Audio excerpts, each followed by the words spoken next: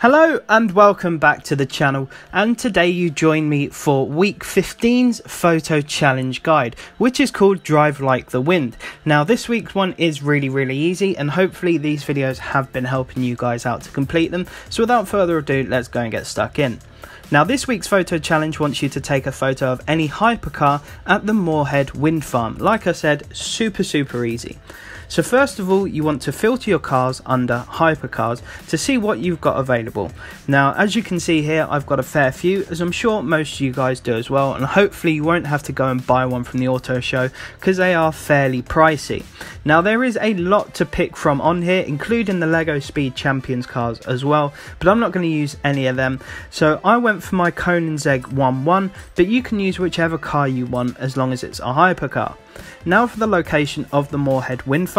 So as you can see here, I start off at the Horizon Festival and if you come up here just above the Eliminator, you'll see the words Moor Moorhead Wind Farm. There's also a race there called the Moorhead Wind Farm Circuit, which I'm sure if you watch some of my content, you'll know that I use that one quite a lot.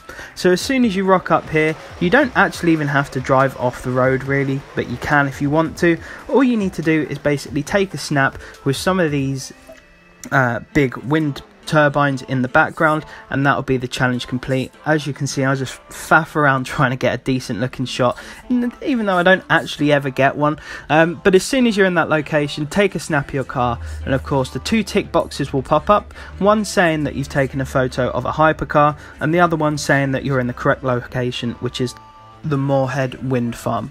So hopefully, like I said, that this video has helped you guys out. Hopefully you're still enjoying them and that they are continuing to help you. If you did, and you did enjoy it, don't forget to drop a like because that massively helps me out. And if you're new to the channel, subscribing would also help me out as well. But apart from that folks, I want to wish you all the best. Make sure you take care and stay safe.